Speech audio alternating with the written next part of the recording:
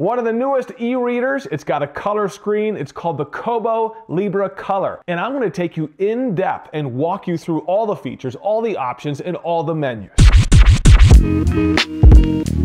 Tech it before you wreck it. What's up, my fellow geeks? I'm Kirk, and I listened to you guys. My previous video of an unboxing of this Libra Color, you guys liked it. I linked it down in the description if you haven't seen it yet. And because you guys liked it so much, I wanted to go more in depth. I'm gonna take you through all the menus, all the options. I'm gonna download a book from my local library and show you how that works. Check this thing out. This is the stylus, the pen that you can buy separately. I'll show you exactly how this works, what you can do with this with the Kobo Libra Color. This is gonna be a long one. It's very in depth. I've got chapters set up if you wanna skip ahead. Hopefully this helps you if you're shopping or you're interested in the Kobo Libra Color. All right, here we go. Here is the Kobo Libra color with the lock screen on there in color, which is cool. Let me show you where the power button is on the back in the corner, and that's the button you're gonna hit to wake it up out of sleep mode.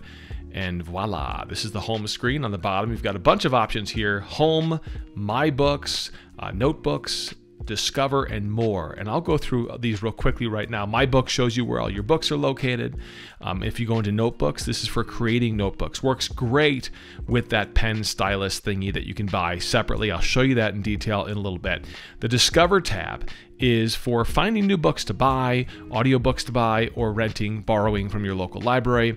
In the more, you've got uh, wish list, you've got Dropbox, Google Drive, articles, activity, uh, beta features, and settings. I'll show you more of that in a little bit, but I want to jump back into a book to get right to kind of the most important features that most people are wondering about. This is Diary of a Wimpy Kid. The standard gesture is how you change pages. You swipe from right to left, or you can just tap at the right side of the screen as well, and that switches pages. There's also a couple of buttons here. If you use the, the top button, that goes back a page. If you use the bottom button, it goes forward a page. Pretty self-explanatory. You can also switch those functionalities in the settings. I'll show you that in just a bit. Okay, so let's get to the menu on the screen. You get to that by tapping into the middle of any page on a book, and it'll bring up your menu options. So here you go. You've got a couple of options in the upper right-hand corner. The first one lets you change the size of the page. For this book, it might not make sense, but if you want to change the size of your font, for example, that's where you would change it. You've got some options to fit it to the width of the page, fit it to the height of the page, and then you can actually rotate the page itself. You're not rotating the menus, you're not rotating the, the device interface, just the actual page of the book. Now, if you want to rotate the, let me go real quickly to this pen tool. This is the next one here. Doesn't do much when you're just using your finger. It's for the stylus. Again, I'll show you how that works in just a bit. But if you want to rotate the actual interface of the book, maybe you like reading it sideways instead, you can switch over to a landscape mode. So there's your landscape mode. It's locked in. The whole interface is now in landscape mode, not just the page. I'm going to switch it back to portrait mode. But in fact, portrait mode, I don't want that locked. I actually want it in auto mode. So if I flip it upside down, it'll automatically adjust. Here's your brightness settings. And if you've used a Kobo device before, these are pretty standard. You've got a overall brightness adjustment. You've got your natural light adjustment, which you can turn to auto or you can adjust manually. You've got a bedtime setting right there on the bottom as well. So these all are things that you can mess with. You get more of a yellow light, more of a blue light. What's better for, you know, nighttime reading or daytime reading? You can play with that on your device. And then in the settings, we've got a bunch of stuff here. So let's kind of go through some of these and you've got uh, header settings. You can change what shows in the header. You've got a footer setting. You can change that as well. This is all personal preference. How do you want the percentage left of that book to show up? You've got a show book progress bar. You can change the buttons. You can flip or you can flop exactly how those buttons work, the top button and the bottom button. On the second page, you've got uh, the option to refresh the screen every chapter, every page. You know, again, these are your personal preferences. Reading orientation, show Adobe EPUB page numbers, or you can switch to a dark mode and you can reduce a rainbow effect. I don't know exactly what this is, but I'm sure if you've had an issue with that, you know what it is. Um, this is the last page here, where you can change kind of where those soft buttons, oops, let me slide. Okay, I'll turn that back off. Let me slide back here. So you can adjust exactly where those invisible buttons are. You can also pinch to adjust the font size. You can swipe the left edge to adjust the brightness. I don't know if that works when I'm in the menus. Uh, let me let me try that because that's swiping up and down on the left-hand side of the screen easily. Yeah, it doesn't work here. It's actually switching back to the other page. Um, but let me jump out of the menu and I'll show you how that works in just a second. And there you go. So you swipe up or down on the left-hand side of the screen and it adjusts the brightness. An easy way for a, a setting that people are going to want to jump to very, very quickly. Makes sense to have that. I like that. All right, now let me get up to the three dot menu in the corner. You've got return. I can return my book to the library, write a review, view details, dictionary, related books. And if I hit view details, for example, this goes right to the details page where I can read more about the book. I can find reviews. I can find other stuff about the book. And then let me get back to that menu again. I'll show you what else is in there. You've got uh, dictionary. So this is a dictionary. You can search the dictionary if you want to look up a word. Uh, you can also highlight words in the book and look those up. But you've also got related books. So this is going to show me other Wimpy Kid books, for example, which is cool if you're looking for the next book in the series or something that might be similar to what you're reading right now. And then you've got hints and tips. This just takes you to some of those hints and tips that pop up on their own when you first start the Kobo, and you can get back to those quickly by using that menu option. These are helpful if you've never used a Kobo device before. On the bottom here, bottom left, we also have some menu options as well, and that'll just jump you to the different chapters, or you can tab over to check out your annotations, which in this case we haven't created any. I'm going to jump back to the home page and I want to show you what it's like to borrow a book from your local library. In this case, I have it set up with Overdrive to my local library. So many libraries are connected to this. So for example, here is my Overdrive page. Let me jump into uh, Ready Player One, for example. I'll tap on the three dots and it says borrow with Overdrive and I tap that. It connects to Overdrive through my Wi-Fi and that's it. That's it. I just borrowed this digital book from my library. It's downloading and it's done. It's that easy. I tap it and the book is open. Amazing how easy it is to borrow these books if they're available, which they're not always available. If they're not, you can place a hold and wait for it. Use the buttons and I'm going through the pages quickly and there are the table of contents eh, right here. I can start reading it right now. Let me show you this because I mentioned this earlier. If I hold my finger down on a word, I can highlight the word, I can add a note, I can even search it. If I do that, what do I get? Search in book, search in Wikipedia, or search in Google. If I, if I hit Wikipedia, it takes me to a very ugly version of Wikipedia. I mean, at least it's loading it up, but it's very, very ugly. Uh, let me highlight a whole section here. So if I highlight this whole section with my finger, then I can use a color to highlight it, but I can also add a note. So I'll change it over to a pink color, which looks kind of cool. Let me try adding a note as well. So I will see if I can select some more text, add the note, and here I can type in a note. I can just type in this is important or whatever I want. This is a test. And this is a way to save a note while you're reading a book. Great for students, great for people who like to annotate their book while they're reading it. So all of this is kind of fun to play with. You can highlight words, you can change them to different colors. I accidentally swipe back to the previous page. I can select passages. I can change that color to green. That didn't work. What am I doing wrong here? It's a little finicky, to be quite honest with you, just because you're using a touch interface. There you go, it worked that time. You're using a touch interface on a slow refresh screen. But you'll notice when I go to the next page and come back, the notes are still there, the highlights are still there, they save with the book, which is kind of cool, and across devices, which is cool as well. If you've got a different Kobo, these will show up on that Kobo as well. Here's a Google search of a word, and it looks a little bit better than the Wikipedia search, um, but it's still a pretty basic web browser. Let me highlight this word. I will highlight that green. Again, this is a cool feature, great way if you like to add highlights and notes as you read a book. Okay, so look at the options here. You have an authors tab, a series tab, and then a collections tab as well. So just different ways of sorting the books that you have saved on this specific device. Let me go over to Discover. You've got ebooks, audiobooks, Kobo Plus, and Overdrive. In ebooks, they're essentially, it's a big collection of all kinds of stuff. Books you can buy through Kobo, or also, if they're available, borrow through your library. So I'll go to this book, and I don't see a borrow option. I can preview it, I can buy it. Let me go to a different book and see. So if it's available on your library, it should show the option to borrow it from your library or place a hold.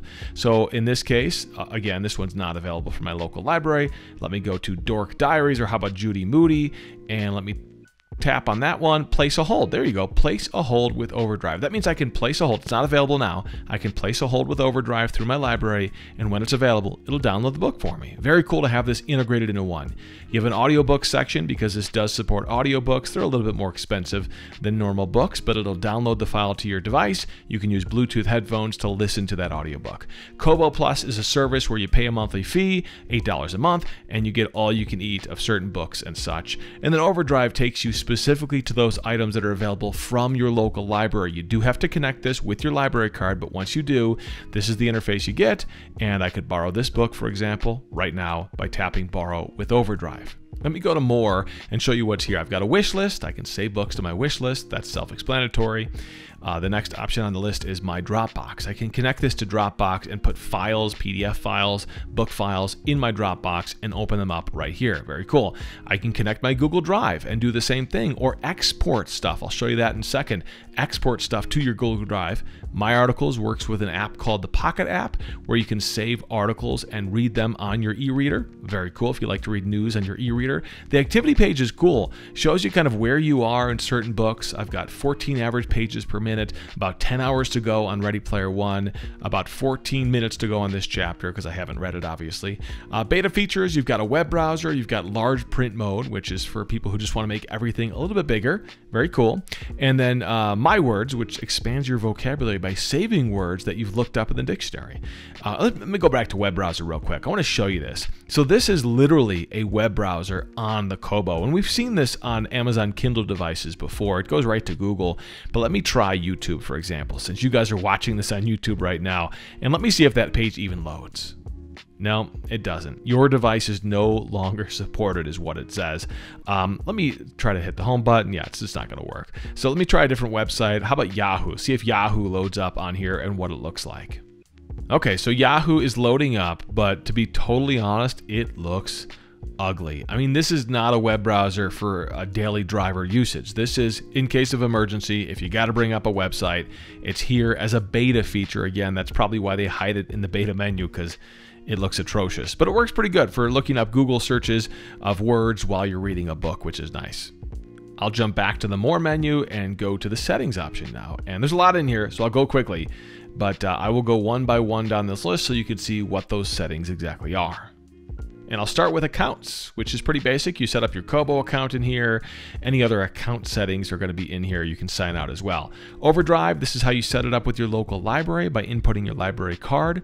Date and time, self-explanatory, don't have to go through that. Language and dictionaries is for selecting your language and which dictionaries are downloaded on this device. And then you've got Wi-Fi connection. You connect it to your Wi-Fi. That's about it. Bluetooth is the same for connecting to Bluetooth headphones for those audiobooks. And then going back, we have a syncing and updates. How often do you want it to sync? When should it sync? Etc. Etc. Energy saving and privacy. This is all about when your device goes to sleep, how it goes to sleep, what happens when it goes to sleep, etc. Etc. Probably important options. I'm sure the default will work for most. Reading settings is the same page we saw earlier directly through uh, reading a book. Uh, manage downloads is for how you want your downloads to be saved. If you want to remove them, you can do that all here. The storage on the device itself. And then you've got device information, which gives you your serial number, your MAC address, stuff like that, device information. Finally, about Kobo Libra Color essentially gives you some legal stuff. And those are the settings options from the more options on the home page. Let's take a closer look at the pen, the stylus. Again, this thing is purchased separately, but let me show you exactly how this works. So you go into any book, you can pick a color, you can pick a pen size, and you can write directly on the pages. So I can underline words, I can circle words, I can add notes on top of the pages, uh, kind of like writing with a pencil in your book. Uh, I accidentally highlighted some stuff there, but you can hold the button down on the pen and highlight stuff like this, and then it'll change it to a highlighter color as if you're using a highlighter. I actually think that is one of the most useful things if you're reading a book and you want to highlight stuff as you go. You can add a note as well. This is silly though. When you add a note, you can't write in there you can only type in there. It'd be nice if you could write in there as well. Of course, you can use the pen to press the keyboard, but I can't actually write in the note box. I don't understand that. That's kind of frustrating. Over to a fresh page, I can circle words. I could add a little annotation to this uh, specific word, why, for example. And the cool thing is, all of this is going to be saved. You're going to come back to the book, and it's all going to be there on the pages as if you wrote it there directly. In fact, I can go to annotations. Look at this. This shows me all the annotations that I've made on this book. In fact, it shows a little clip of it, which is really cool. And then if I like that, okay, where is this? I can tap it and it'll take me right to where that annotation or that highlight is right back to that page. That's cool, especially if you highlight certain passages and you want to quickly get back to those passages. I think that's where this option really shines. And again, it works for highlights as well as handwritten notes on the pages. There's my highlight. I can jump back into it and it takes me directly back to that page. If I go back home, I want to show you my notebooks. This is a cool feature if you have this stylus. Of course, it works without the stylus, but it's a great option with the stylus. You've got a basic notebook and an advanced notebook, and I'll show you each of them. Let me start with the basic notebook, and I'll hit save to create a notebook, and this essentially just lets you write uh, and highlight and erase on a blank page. That's sort of all you have here. So if you want to draw, if you want to write sloppy notes, etc., etc., this is where you do it. There's no lines on the page. It's literally just a blank page. I can push the button and highlight this, for example. And I love the fact that there's a simulated eraser on the back and it will erase what you just wrote as if it's a real eraser. But watch this. So I'll write again a little cursive here. And again, I can just sort of play around with it. I could, uh, I'm looking for the button here. If I use the button, it highlights uh, again, and I can use the eraser to erase. So I've got an S and a T remaining. I can circle the whole thing and that's that. That's the basic notebook. You have multiple pages as well if you'd like, but that's the basic notebook for just kind of free writing on this device. If I go back, let me create a new notebook and I'll select advanced this time. And the, the first thing you'll notice when you do an advanced notebook, let me give it a name. I'll just call it ADV for advanced. When you hit save, the first thing you'll notice is this one has lines because this is about writing to convert to text. Uh, you can do other stuff as well, but basically that's what this is designed designed for. And there's more kind of features here, more options that you can do. You see that in this uh, little tip page here, it shows you some of those.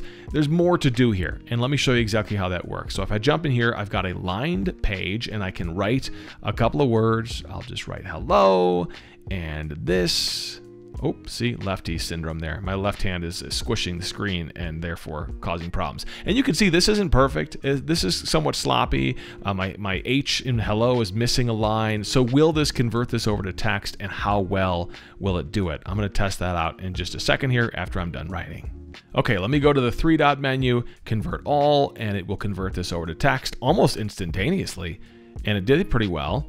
Um, I can highlight it again by holding down the button on the stylus. I can circle it and it'll highlight it as well. I can actually scribble something out and it'll erase it. Isn't that kind of cool? I mean, very natural design here. Double tap to edit. I'm not sure exactly what that does. Again, there's a lot of features, a lot of different ways you can do stuff here. I'm not sure how the double tap to edit works, but if I scribble out this, let me do it better this time. There you go. It actually erased the word this. So you circle to highlight, you scribble to erase stuff. You can, of course, use the eraser on the back of the stylus as well.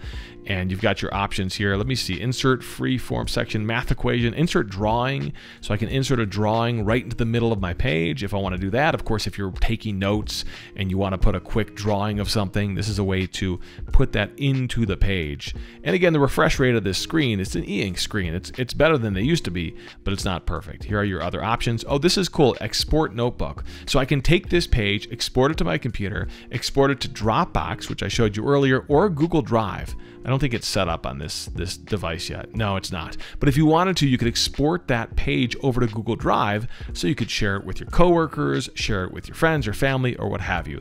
That is the My Notebook feature. Oh, I love how the stylus magnetically attaches to the side of the Kobo as well. If you still have questions after that, well, I don't know what to say. That was a lot, but pop them in the comments. I'd love to answer more questions if you're wondering about very specific things about the Kobo Libra color. And I want to know if you've purchased this, if you're happy with it, if you like the color screen, if you like the features and the options of the Kobo compared to the Kindles perhaps. And of course, subscribe to the channel. A lot more geeky stuff here on Tech It Before You Wreck It. I'm Kirk.